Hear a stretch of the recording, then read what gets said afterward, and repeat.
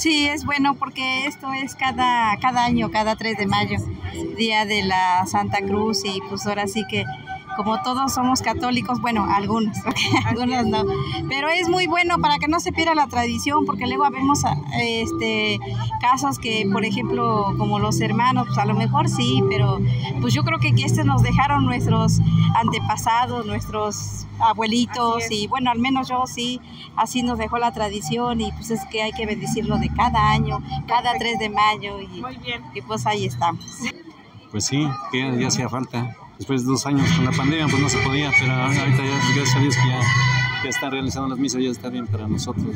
sí, como 10 años, No, pues ya está muy bien, ya hacía falta. ¿Cuántos años lleva usted realizando esta acción de bendecir la cruz? Como 5, 6, dependiendo del trabajo más que nada. Bastantes años. Bastantes años. Siempre de mi razón de vida. Es muy bonito. Sí, ¿verdad? Perfecto. ¿Invitaría a las nuevas generaciones a seguir realizándolo?